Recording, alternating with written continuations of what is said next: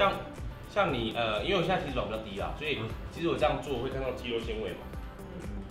你这样看啊，这边啊，真的是太，这边呢，你就会感觉它有点被限制住，跟左边比起来，嗯，左边感觉就比较松嘛，对，有差吗？哦，所以是有差吗为什么？对不对？左边感觉线条比较明显，就是它有办法被拉的比较多，但右边可能就没拉，没有被拉住，所以这是怎么造成？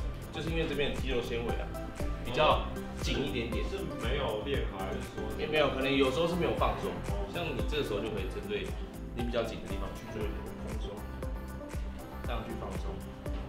然后放松的时候，你放松该肌群啊，尽量是在放松过程中不要出力，因为有些人会因为放松是我有点有点痛，他就稍微有点绷住感觉，尽量不要，因为这样放松效果很差。对，所以可以看到那个肌肉的震动是非常的性感，有 没有看到？所以我就觉得倒三角很明显啊，就是这个，对啊，很明显就是有倒三角怎么办？哦，对啊，像现在就比较松一点嘛，对对对，有感觉吗？有有有，对，这可以肉眼可识别的差别。就有差了吧？对对对，嗯。就比较松一点。